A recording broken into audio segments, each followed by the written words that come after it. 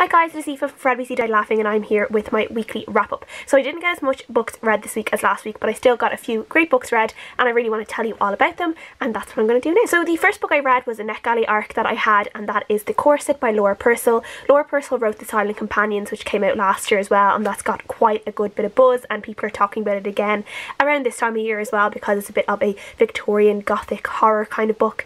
Um, and The Corset is a little bit similar, it's also set in the Victorian times and it follows two different women, Dorothea and Ruth.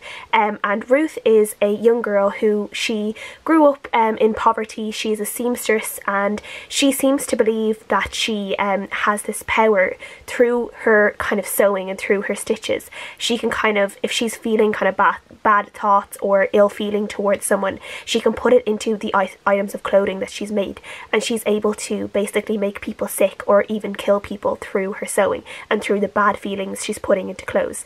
Um, and when we meet her, um, it's Dorothea is she is kind of a young um, woman who is kind of being a do-gooder. She's visiting jails and visiting women in jail, and she visits Ruth, who is on death row for the murder of um, a person. And she is getting Ruth's story, um, and Dorothea and the reader is kind of trying to figure out if what Ruth is saying is is the truth. Like, does she have these evil powers through her sewing, or is it all just kind of a coincidence? Really, really enjoyed my reading of this book. Um, I just thought the atmosphere was great in it. It was kind of dark and a little bit grimy, and I don't know, I just felt myself really, really sucked into the story. Um, it reminded me a little bit of Alias Grace by Margaret Atwood, which is told in a little bit of a similar way. Um, the way, you know, you have a visitor visiting someone in jail and getting their story through like gradual um, visit. There's also um, a Dorothea is in, in, uh, interested in, I think it's phrenology it's called, which is basically studying someone's skull and through the lumps and bumps in someone's skull you can apparently tell their personality and if they're more inclined to you know do evil things um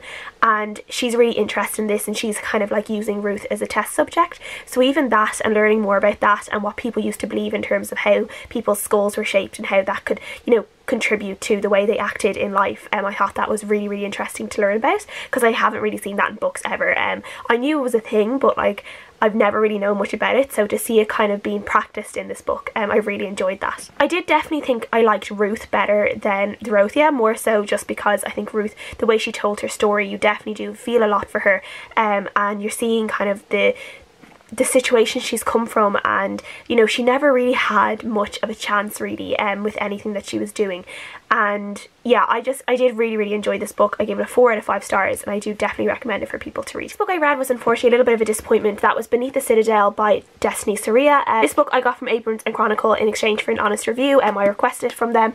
And this is basically set in this I think it's called Aldra and um, the city of Eldra.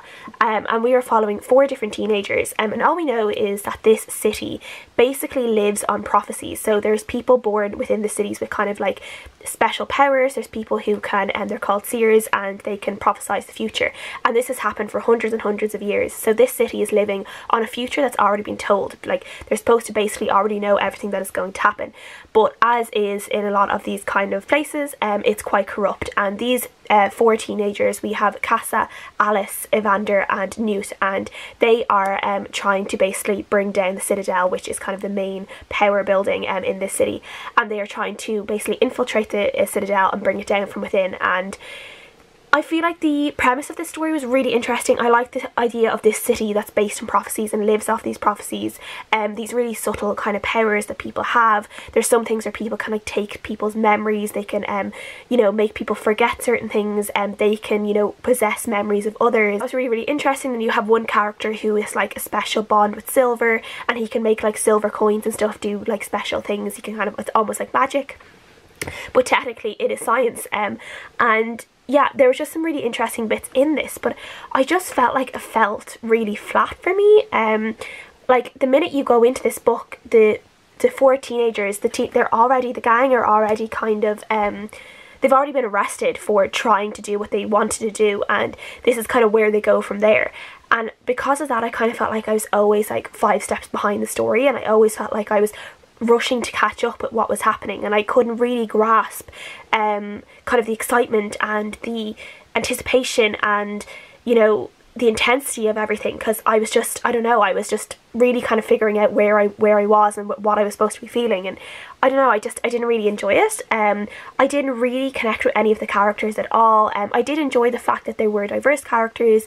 Um so you have a character who's bisexual you have a character who's gay there's a character who's asexual.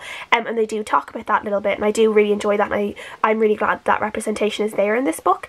Um but in saying that the characters themselves just didn't really like gel with me. Um I didn't feel myself particularly caring towards any of them. Um like what happens in this book and the way the kind of the um the way the group is it reminded me a little bit of like Six of Crows and that group but in Six of Crows our little the little group that we have there are just done way better I think um than in this one. And I just really didn't care. Like I like to be honest I read the majority of this book. I read like 300 pages of this book in one day. Um, and then I found myself the next day I just didn't want to pick it up. Like I wasn't that interested in finishing it. There's supposed stuff that's supposed to be kind of like you know like tear worthy at the end and I again I just didn't really care. Um so yeah I just was missing any emotion I was supposed to have with this book. I just didn't gel with the characters. As, as I said I really liked the premise of it. I just thought the execution was a bit flawed. I just thought it got a little bit boring at times. It kind of felt like they were going around in circles. Um I felt like I was struggling to keep up with them at times. Like I just yeah, it just, I don't know, it was just a bit messy for me. I just didn't enjoy it, um, which is annoying because I really enjoyed Destiny Soria's um, other book, Ironcast. I really, really loved that book. So I am disappointed that I didn't enjoy this much as I wanted to, but yeah, unfortunately that's just what happens sometimes. So I gave this a 2.5 out of 5 stars. Um, it might work for other people, it just didn't work for me. And then the last book I finished this week, um, I read What If It's Us by Becky Albertalli and Adam Silvera, which is a highly anticipated book um, this month and a lot of people have been reading it and I absolutely loved this book. Um, I've heard some people and some people whose reviews I really, really trusted and they weren't as crazy about this book as they thought they were going to be. So I was actually very kind of not nervous but I definitely did wonder how I was going to find it. I didn't know if I was going to love it or if I was going to be really bored of it um, but I'm really glad that I end up really really loving this book. So this is about Arthur and Ben who have this kind of meet cute in a post office in New York um, and Arthur ends up kind of doing this kind of um, missed connections thing to try and find Ben again and obviously they meet and they start to date and this is just about their love story through these couple of months that the two of them are in New York um, and it's basically them going through a lot of firsts together and just really enjoying their time time falling in love with each other and it is just the sweetest cutest story and I just really really enjoyed it. No big like crazy kind of plot twist or you know big secret or thing or anything in this book that like you know explodes at one point and everything messes up. It's quite just like this really lovely little romance um, that you can really really root for. You have these characters who are just so charming that just you fall in love with. Um like I was like this book was one of those kind of books that just gave me all the noises if you know what I mean. So like I was laughing along with it. I was cooing along with it. Um I just did not want to put this down. Like it was kind of like the opposite like beneath the citadel. I just I put it down. I didn't want to pick it back up where with this book I didn't want to put it back I didn't want to put it down at all I just wanted to keep on reading.